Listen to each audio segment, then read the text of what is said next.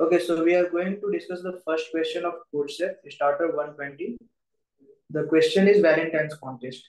So in this question, it is given an n and we need to find whether it is uh, uh, an n and we have, we have to find if starter n is going to be organized on Valentine's Day or not.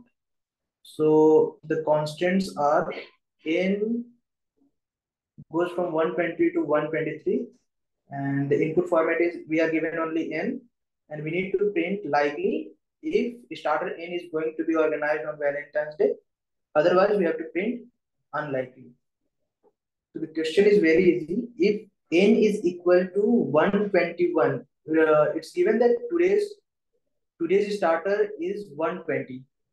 Okay, and uh, on the next Wednesday it will be all uh, Valentine's Day. So if the next uh, uh, starter is 120 and uh, 121 then only it will be organized on valentine's day. Otherwise it will be no uh, it will not organized on valentine's day. It will be organized on some other day. So we have to check if n equal equal 121 then we have to print likely. Otherwise we have to print unlikely. So this was the uh, question. That's it